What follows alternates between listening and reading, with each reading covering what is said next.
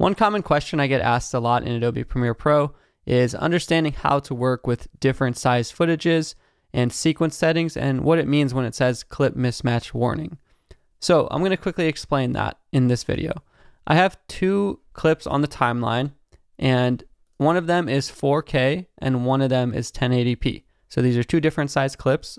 Maybe you're working with different cameras or different size footages and media. And there's also a couple different ways to start a new sequence. So, one way to start a new sequence is by going to File, New Sequence. And here's where you can either choose a sequence preset, such as this 1080p DSLR preset. And we know the standard HD size on many streaming platforms like YouTube and Facebook is 1920 by 1080p. Or you can go to Settings and input your own custom frame size. So typically you'd want to keep it at this 16 by 9 ratio, but sometimes if you're working for social media or Instagram, you might want to do something like a square, like 1080p by 1080p, 1 by 1 ratio.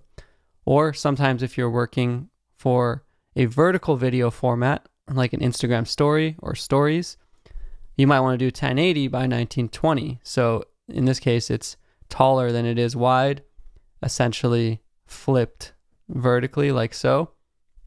Now, whenever you're working with a certain sequence size and you ever click a clip, so if you ever look in the info tab on the right hand side, you can see the different information about the clips. So this one here is 1920 by 1080. This one here is 4096 by 2160. That's 4K.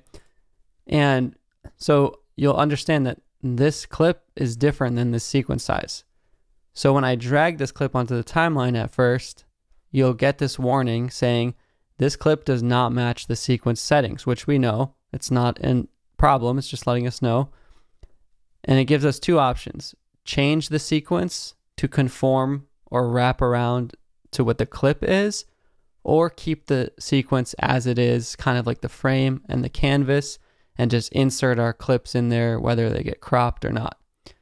So if I click keep existing settings, because I was trying to build a Instagram story type of video, a vertical video, for example, then we do get our rectangular HD video, but it simply is just kind of in this window or in this canvas sequence.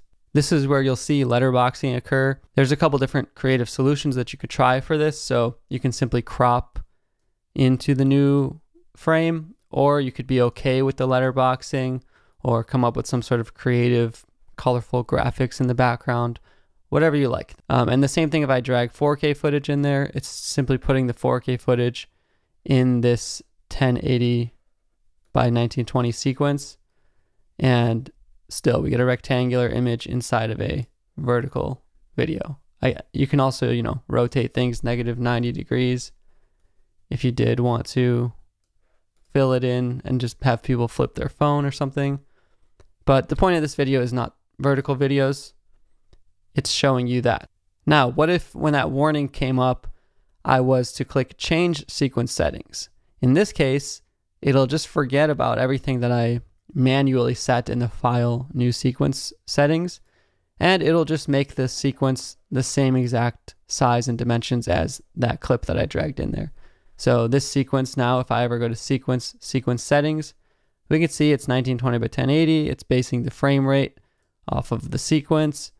And I can still change things from this point on, but we basically stretched out or wrapped the sequence around the clip dimensions. Now, what if we're working with two different size clips? So on one hand, if I drag 4K footage into a 1080p sequence, you'll see that it's just kind of cropped in. So this clip in I'll put it over so you can see. This clip in full size is like this big, but in reality we have this much of the clip actually existing. So you can just do something simple like scale down. Scaling down, you never really lose quality scaling down. But what if it was the reverse? What if we had a 4K clip and a 4K size sequence and we dragged a 1080p clip in there? You'll see the 1080p clip even at 100% scale, is kind of too small for this 4K frame.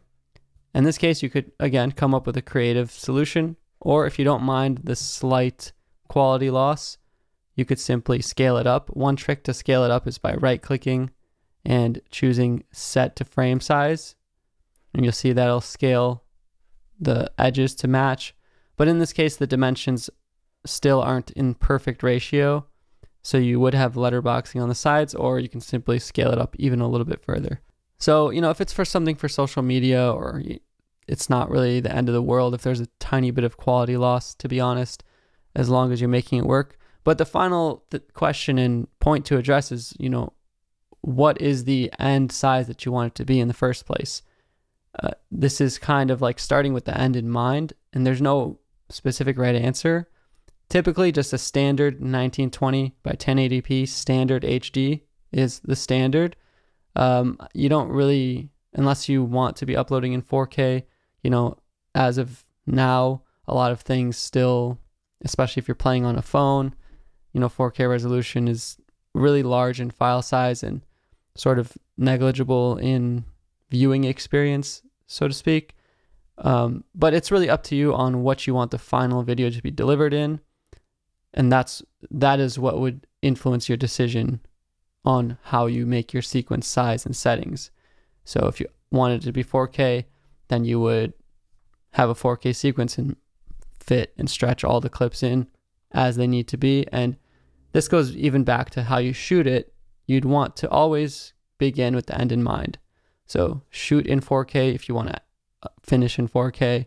And also when you finally come time to export, so file export media, this is also where you'd want to start with the end in mind. Here, if you choose match source, it'll match your sequence settings here. Um, but you also have all these presets such as YouTube 4K or YouTube 1080p. And you see it's adding some black bars because the ratios were not exactly the same between this 4K and the standard YouTube 10 ratio 4K. Ultimately, when you export, it's going to wrap your final video in the size that you exported in. So even if I chose to ultimately make it a vertical video again, you see here, I changed that and it just letterboxes everything. So, and even when you upload it to certain players like YouTube and whatnot, they're also going to compress and, and change things a little bit to fit their standards.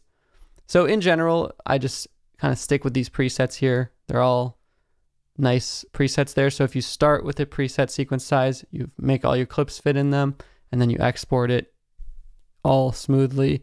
It won't be like putting a square peg through a round hole.